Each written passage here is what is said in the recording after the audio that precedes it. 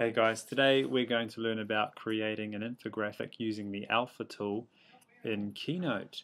So let's get started. I'm going to start by opening Keynote and I'm going to select a white background. I'm going to delete the, well I'm going to delete one of the text boxes. One of the text boxes I'm still going to use and the reason why I'm going to keep this text box is because we're just going to make up some arbitrary data. Um, so let's say we want to create an infographic about the percentage of time spent on each subject at school. So we'll say maths is 20%, English is 20%, and because at the Chinese International School here, we do Chinese, that's 20%, IS is 15%, that's integrated studies, what else can we select? Uh, of course, there's art. That can be 6%. P, PE, 10%. And uh, music, 9%. Let's just check here. We've got 20, 40, 60, 75, 81, 91, 100. That's perfect. So that's, that's basically how we spend our time for the week. Now, what I've done is I've just, if you see on my desktop there, there's a little silhouette of a boy, and that's the boy that's been doing all this, this work in this classroom. And he's the boy that we're going to re represent in the infographic. Now, what I'd like to do is I'd like to color him in so that 20% of him is colored in and we can represent that 20% with maths. 20% will be English, 20% will be Chinese, 15% IS, 6% art, and so on. So what I'm going to do is I'm going to use this tool here that was just called the alpha tool. I've selected the image, I click on alpha, and I'm going to alpha the color that is the boy, the black color there. And I just click on it, and that color becomes transparent. It means we can see through it.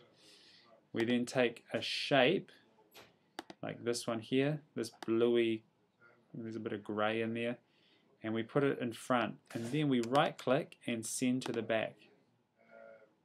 And now that shape is behind my image. Now watch when I drag this all the way down, you can see my bluey grey shape behind uh, my original image. Now, when you when you take away that shape, you can't tell that there's white in that image, but when you put it over, you can. And our black boy, our black colored boy has gone. He's disappeared. So what we then do is we we want to make this color here roughly 20%. So I'm going to look there, which is one fifth. So we'll do about that much.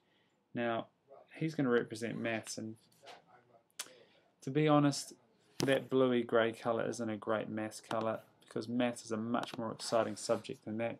So we're going to change that to a nice vibrant blue like that. That's our maths colour. Okay, I just want to bring that out a little bit more. I can't bring it out too far else it sticks out beyond my image. Right, so that's maths. Uh, I now want to do English. So I'm going to grab another shape and I want to also make English around 20%. I may have to just bring this guy up a little bit. And there he is again. Again, I want to change this color because it is a dull gray blue color and I'm going to change English to a nice pink. so I'll just double click on that.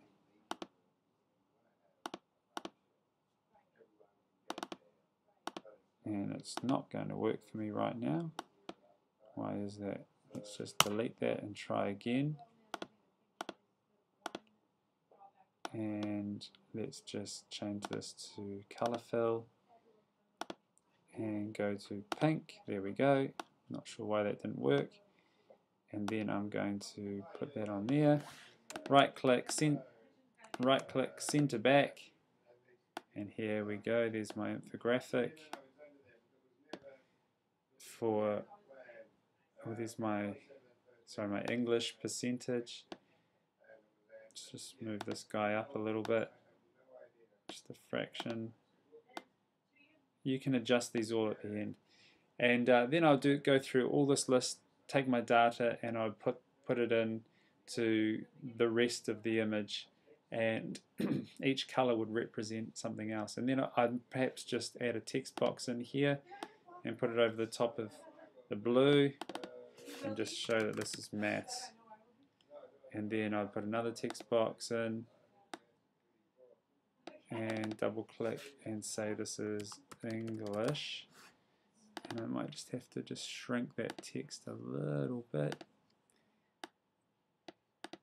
There we go, English and so on and so forth and I go right down so that my whole my whole guy will be colored in uh, this whole color here is, is going to be um, made up of the different subjects so I'll, I'll add a different color for each subject so Chinese would go across here it'd be a smaller section for IS quite a small section for art small section for P, and so on. So that is how you create an infographic uh, using the Alpha tool in Keynote. Enjoy.